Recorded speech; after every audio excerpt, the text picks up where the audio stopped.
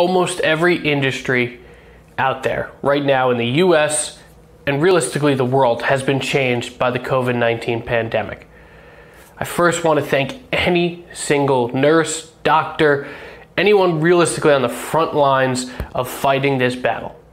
And secondly, I want to just go over how this has changed real estate, what's going on, what's the latest in our market, and what's going to happen going forward. First off, everything right now is going as normal for transactions already under contract. People are still having their houses inspected.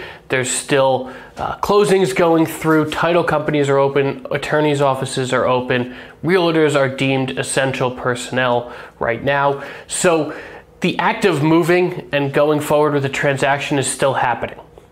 It's the new listings, the new properties, or buyers who are thinking about going out and looking at homes. That's kind of hit a pause, like many of our industries. Everyone is kind of waiting this out to see what happens and wait for the government to say it's safe again to resume our normal activities.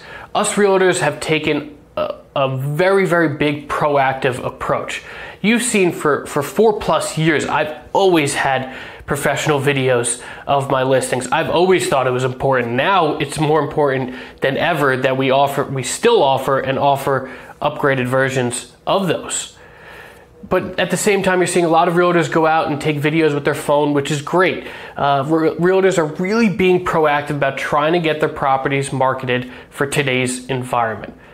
For buyers, we're able to go into homes and you could sit on your couch and we can FaceTime you right from a, from a property that just came up if a property did just come up. You're seeing in my market statistics every single day that there are new listings, there are properties going under contract, and properties that are closing. It's at a far less rate than a year ago at this time. This would be peak selling season. But at the same time, transactions are still going through. People are still out there looking. A lot of sellers have deemed uh, themselves to be a little bit too scared to bring their property to market. A lot of buyers are hitting that pause.